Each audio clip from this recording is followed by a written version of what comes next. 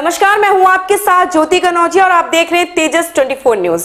आइए रुक करते हैं खबर की ओर। नमस्कार। ज़िले के रहने मेरा नाम है दीपक पांडे में काम करने के लिए गए। और मैं जिला इटावा, उत्तर प्रदेश का रहने वाला हूँ। हरदोई मोड़ पर ट्रैवल हम आए थे भैया कुवैत काम करने के लिए। भेजा और कहा कि डेरन ट्रेवल्स, 90 दिन और लखनऊ, खाना मिलेगा। लेकिन चारक हॉस्पिटल, हरदोई रोड के पास ये ऑफ़िस है। इस ऑफ़िस से हमने वीज़ा लिया तो यहाँ पे इन्होंने बोला था कि नब्बे दिनार मिलेगा आपको और खाना मिलेगा। 30 घंटे की ड्यूटी ली तो यहाँ पे खाना की कंडीशन बिल्कुल ही अच्छा खराब है और ड्यूटी जो है वो तकरीबन फ़ोन 18 घंटे ट्रैवल 22 घंटे इस तरीके की ड्यूटी हो रही है। तो ये ये लोग कोई सुनवाई नहीं कर रहे हैं ऑफ़िस वाले नमस्कार। मेरा नाम है दीपक पांडे और मैं ज़िला इटावा उत्तर प्रदेश का रहने वाला हूँ।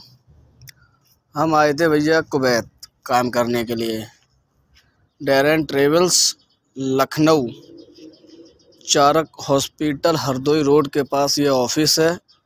इस ऑफ़िस से हमने वीज़ा लिया तो यहाँ पे इन्होंने बोला था कि नब्बे दीनार मिलेगा आपको और खाना मिलेगा। तो यहाँ पे खाना की कंडीशन बिल्कुल ही ख़राब है और ड्यूटी जो है वो तकरीबन 18 घंटे 22 घंटे इस तरीके की ड्यूटी हो रही है।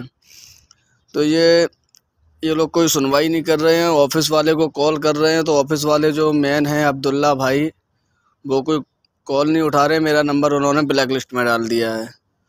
और जो उनके काम करने वाले उनके साथ में हैं, मुदासिर खान, वो भी कोई बात का रिप्लाई नहीं दे रहे हैं। यहाँ पे हम जो हैं, बहुत ही बुरी तरीके से फंस चुके हैं, लेकिन क्या अपने घर वालों को नहीं बता सकते हम कि यहाँ पे ये दिक्कत है?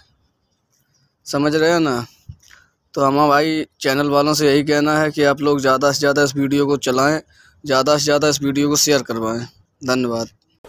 ऐसी ही खबर से जुड़े रहने के लिए आप देखते रहिए तेजस 24 न्यूज़।